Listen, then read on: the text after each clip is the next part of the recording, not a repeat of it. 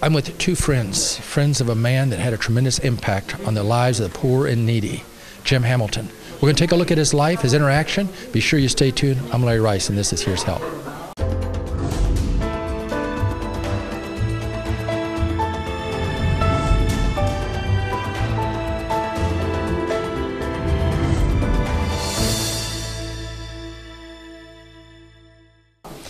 I met Jim Hamilton when I went to a Spanish class. He was a Spanish teacher. I did not know what a man of the people that he was until actually I got to Mexico uh, City with Jim. And uh, I want you to first meet the man that went to us with Mexico City. And Tom, tell us a little about Jim Hamilton, and we can take a look at that trip. Mm-hmm. Yeah, well, Jim Hamilton I met probably uh, six or seven years ago, and uh, it was at um, Legacy Bookstore. They were holding, I think it was a Green Party meeting up there and I don't remember particularly what the meeting was, but I remember there was this old guy walking around among the crowd handing out papers. And he seemed to be just kind of fixed on his mission of handing out information. And so I got talking to him after the meeting, and that's how it started. One thing led to another, and I came to know him a lot better, personally and, and professionally. Barbara, tell us about your interaction with Jim, how you got to know him. I first met Jim on a on the cab line at the airport, St. Lambert Airport, where he was working as a cab driver. He was shop steward of the line, and the story goes that during the time when they were, you know, when a lot of um, African American people were just beginning to get jobs at that Chevy plant that opened. They had more money and they were wanting to get homes near the airport. And the, and the story is, of course, that Jim organized a special mission cab squad because the KKK used to put guns and hang them out the window to, to intimidate the blacks from moving in. So Jim would have one of the cab drivers peel away and go to, to sort of deter them from threatening or intimidating the people that wanted to move in. So he did. He organized it as a special mobile cab squad. He was quite creative in his ways of wanting to help other people. He was wonderful. Let's hear from Jim at this particular time. Jim has gone to be with the Lord now, but we're going to look back in the past, a trip to Mexico City that we took together. Uh, yeah, my name is Jim Hamilton. I've been a teacher of Spanish and English as second language uh, here in the city and at several other places. And I have a, a, class at one of the community schools here in the evenings in the fall of uh, Spanish, mm-hmm. very beginning Spanish, meant for people who tour uh, the type tours I like to go on are informal, uh, where people meet the real people. So we travel on uh, like the commercial buses. We don't rent a bus. We travel on the first class commercial buses, which are pretty safe in Mexico. And uh, we meet the people when we do that, and we get to know how they live also, I've taken a couple of his classes. I'm also going on this trip. I'm excited about this. We're leaving uh, McAllen on August the 14th and actually be traveling throughout Mexico, stopping in little towns. We're going to show you some of these towns on this program, by the way. And um, been in Mexico City on August 20th and 21st. One of the first cities that we'll stop at first as we leave McAllen, Texas, go to Monter, uh, Monterrey. Uh, Monterrey, roll your R's. okay, Monterrey, Monterrey Nueva, Nueva León, which is uh, it means new lion, or from named after the province in uh, northern Spain of Leon. It's probably one of the most industrialized, most modern parts of Mexico. Uh, although you have around there a lot of these maquiladora factories, you have a lot of uh, uh industry and uh, unfortunately a lot of pollution. They don't have. There's a lot of corruption in the Mexican government, and they don't even hardly pretend to have environmental control laws. So while you'll see rich and one of the things about Mexico, you see a, a, few rich people and a lot of poor people in living in slums and things. So that's the industrialization has been quite a, a, shock on on Mexico, and you'll see that in Monterrey. There's some nice parts of the city and uh, some museums that we may be visiting, and uh, but we're going to go by commercial bus, and they have a fabulous. Uh, they have unfortunately abolished the the train system, which was great mm-hmm. in Mexico, but they have a very good bus system uh, in Mexico, and we're going to try to take commercial buses and mix in with the people, and also we'll be going on some of this to the marketplaces, which are very colorful, and you'll also see how the ordinary people live in Mexico in the marketplaces. Okay, let's talk about the couple other cities that be stopping in at here right now as we make this trip. And again, we invite people if they like to participate. Uh, yes, if uh, we go to Guanajuato, uh, Guanajuato, uh, and Guanajuato is an ancient. All these places are based on ancient Native American cities or, or pueblos, and Guanajuato is in a valley, uh, which is also in the high mountains, and it's a very picturesque city. With uh, it's very walkable. It has winding subterranean streets. Uh, and it, the center of town is the place where Padre Father Hidalgo made the grito the, for in, independence in September of uh, 1810, and that is celebrated every year in Mexico by the Mexican president. The Mexicans are very, very conscious of their history, and of course they teach a little different version of history because they feel that the United States in 1848 took away about half of their country. So they're very, in a way, they're very nationalistic, but they're also very friendly people, and they don't take it uh, out on individual Americans. Uh, there's a lot of talk in the media about violence, but that's mainly around Juarez and uh, uh, the Mexicans, the Mexican middle class people, travel fairly safely and we'll be going there on commercial bus. We'll see some of the old train stations there, which was very important in the Mexican Revolution, the use of the trains by Pancho Villa. And uh, we'll be going through, walking through Guanajuato, and it's it's a very pleasant town to visit. Well, we'll probably go through, uh, on our way to Mexico City, Morelia, Michoacan, which is the real center of the real Mexico. It's not the, the desert area. It's, it's in the mountains, but it's extremely pleasant. One of the towns next to it is Pátzcuaro, where they have the uh, f- uh, fishing lake, and uh, Michoacan is, is uh, it's the Tarahumara Indians, uh, very prevalent in the marketplaces and and uh, that you will see there. It's a very it's also a college town, very educated. The teachers there, the labor movement is very active, especially among the teachers in uh, Michoacan. The people are, are very educated. Uh, there's a number of schools where you can go and study Spanish there, and it has a huge. Uh, I guess they call it Rococo or Baroque cathedral that is very well, well worth seeing in the middle of town. Uh, but it has a lot of other areas, and it's uh, we'll be probably going just at the tail end of the rainy season, so the ti the temperature and it would be we'd be sweltering here in St. Louis, but you'll probably be in the 70s in Morelia That'd be nice. and we'll at least change buses and, and maybe they have in most of these cities they have these double decker red buses you can go around and take a, a can tour if you want to and uh, we'll, we'll get a real flavor of the real Mexico if you go to uh, Michoacan and it's a late, it's a small enough it's a city but it's a state capital it's a small enough city that you can feel comfortable in it. Mexico City is probably one of the largest, if not the largest city in the world. Tom, you took that trip with us to Mexico City. You went, my Mm-hmm. grandson went, Jim Hamilton was there, we had others with us. Uh, wow, I mean, it, it was impactful. Uh, we met with uh, uh, advocates from on behalf of the poor from Yep. all over the Yep. world, it seemed like. Yep, a lot of students from Mexico. A lot of people are very progressive in Mexico. Um, it was actually an anniversary uh, uh, remembering the uh, basically the murder of Leon Trotsky, who was one of the original um, Russian Revolution um founders, revolutionary. And Joseph Stalin, he was an enemy of his, so he had to escape uh, Russia. And Mexico, as they've done throughout their history, took him in. And so the, basically, they had him under their protection in Mexico City. He had his own house and everything. And uh, Joseph Stalin sent some agents to Mexico City and, and killed him, you know, right there in his house.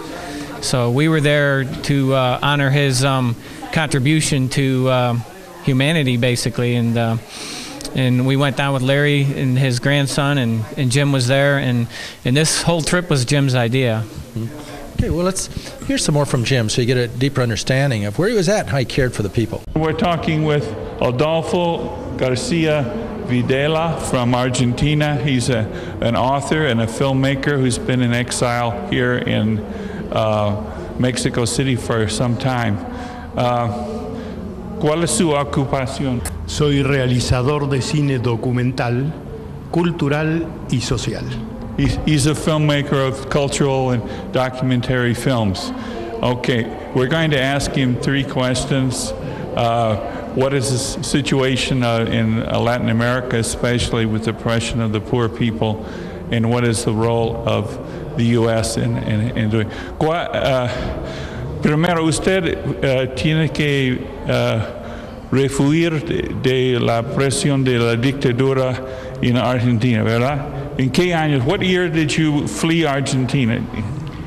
En el año 1975, antes del golpe militar, porque dos años o tres antes empezó la represión muy fuerte con la herencia que dejó Perón con la mujer de él, Isabel Perón, y un personaje siniestro que había, que López Rega.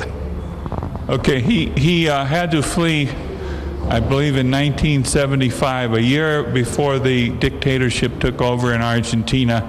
And that, was after the fall of uh, Mrs. Perón and, and Evita Perón, the, uh, the wife of Isabel became the president after, uh, some years after Perón himself lived.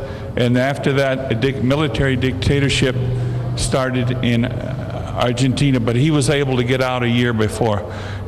¿Puede describirnos uh, la represión de la dictadura y la ayuda de los Estados Unidos a esta dictadura? Can you tell us a little bit about the dictatorship and if the U.S. aided it? Bien, la represión empezó, como dije, años antes del, gol del golpe militar, muy duro con lo que se llamaba la Triple A, una asociación de ultraderecha dirigida por uno que era ministro de, Isabelita Perón, pero que a su vez era brujo, eh, él se consideraba un brujo, un adivino, etcétera, un personaje siniestro, López Rega. Era la desaparición de la gente y simultáneamente la tortura y la muerte directa por asesinato.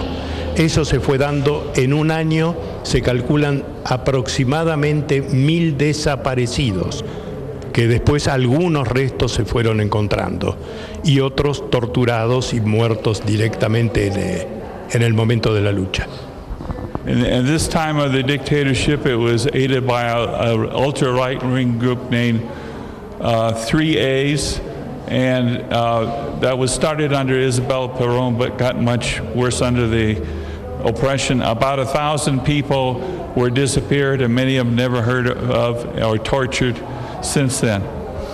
Okay, ¿cuál es la situación hoy en Argentina? Económicamente, what is the bueno, economic and, and political sí, usted me hizo una pregunta que no la respondí todavía, que es qué injerencias tenía Estados Unidos con respecto a la situación de violencia que había en Argentina. Creo que es muy conocido que eh, Estados Unidos tuvo mucha participación en Uruguay, Dan Mitrione, el famoso eh, que secuestraron los Tupamaros, que era un agente de la CIA que enseñaba a torturar para sacar este, detalles en Uruguay. En eh, Chile sabemos perfectamente lo que fue el Estados Unidos contra Pinochet, digo perdón, contra Allende a través de Pinochet. Y en Argentina se dio exactamente lo mismo, aunque se lo disimulaba mucho más, porque Perón había tenido fama de haberse, eh, digamos, en forma nacionalista opuesto a Estados Unidos al comienzo de, su, de sus gestiones políticas como presidente. Okay, uh... particularly what happened in uh, Uruguay and Chile, which are next to Argentina, there was a lot of repression, especially under the Pinochet dictatorship. But we know Uruguay. it's well documented that in Uruguay and Argentina, the C CIA had a big role to play in the Pinochet regime and the repression that take, took place against the Tupamaros uh, in Argentina in Uruguay, and also they probably aided the repression that took place in Argentina. En cuanto a la situación en América Latina uh, hoy, uh, ¿cuáles son las condiciones de económicas y cuál es uh, la uh, sugerencia de eh, o, o, el movimiento de la izquierda hoy en América Latina? Bueno, por empezar tengo que decir que el movimiento de la izquierda es muy amplio. Por ejemplo, yo hice la película sobre Trotsky y México, Lázaro Cárdenas y la época de Trotsky, hasta el asesinato que se pasa acá permanentemente, este, pero no soy trotskista.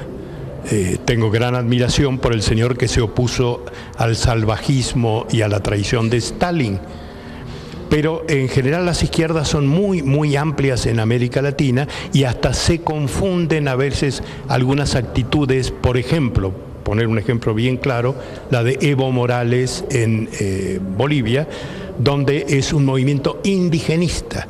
Yo he hecho una película acá sobre la cuestión indígena desde la conquista hasta ahora y la llamo Visión de los Vencidos 500 años después. Para decir, los vencidos, los indígenas, siguen en situación de vencidos y luchando por su libertad.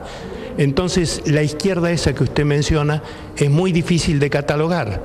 El Partido Comunista Estalinista ha sido siempre traidor de todos los movimientos. Entonces mucha gente hemos desconfiado de esa política, sin dejar de estar en el progresismo y en una posición socialista, democrática y amplia. He says that the, the left and workers and peasants movements in Latin America are going through a great upsurge, and there are a number of leftist governments. He was here in Mexico. He wrote a book about the role of Leon Trotsky in Mexico, although he himself is not a Trotskyist. And uh, particularly in Latin America, there are lots of leftist and nationalist groups. Uh, they shouldn't all be confused. They're, they're, not all Trotskyist or one tendency, but there's a big upsurge in the left in, in, in Latin America now. He, Jim Hamilton, a man that cared, a man that was willing to to do whatever he could to share. A man that uh, got a deep understanding of Spanish. In fact, I came to know him because I was learning Spanish with Spanish classes. But he impacted many people's lives. Barbara, you've got some more stories. Oh my God, there's so many. Um, the big, one of the most important things I think that I took from Jim is that Jim was a, a, true revolutionary, and, and revolutionary meaning wanting to change everything so he could help the vast masses of people. Um, in the last year, we talked about death, and Jim said to me, because he was getting closer, as he had many health issues, and I was fortunate enough to be able to help take care of him. And as difficult as that could be, he, he would give me history lessons while he was on oxygen. It was amazing. But more than that, he taught me more about loving myself in terms of looking at the world in terms of my own personal struggles. Like he, he, it was reflective of the fact that even in the family system where we can be scapegoated and we can become um, victims because of that, victimized, he, he explained how in the world that whole systems, that the system was scapegoating all kinds of people, oppressing, repressing many groups of indigenous peoples, be it African American, the immigrants, so many groups. And so what he taught me was that that same concept was applied. They label us, then they scapegoat us, and then we feel bad about ourselves, and then we become self-destructive, or we're other destructive, whatever way that goes. So what Jim taught me was that I could take my pain from my life and I could use it in helping others. And he kind of was, he directed me like a teacher, a guide. He was the most loyal friend. He was the kind of friend you can count on one hand who you could call in the middle of the night and he would be there for you, even if it got him, him in trouble. And he wanted, he wanted memorial gifts directed to New Life Evangelistic Center, didn't he? Yes, he requested that every, any donations in honor of his memory in lieu of flowers be given to you. So I would like to present you with this check and if you want to say how much that's, that's five hundred dollars. This is wonderful. Thank you so that, much. That is for in memory of my comrade, best friend, and forever person that I, I will miss with all my heart. But I'm going to take what he taught, said to me. He said, Don't mourn, organize. Amen. Joe Hill. Well, Barbara, we certainly thank you for this, and God bless you so much for just Aw. really caring so we can help so many more. That's what Jim would have wanted. Yes, thank you so Yeah, much. Let's go back and hear some more from Jim. This is exciting, just picking this up, seeing as you travel through these little communities. We've just featured a few of these. There'll be a lot of little towns we'll be stopping in, won't we, on our way to uh, Mexico City?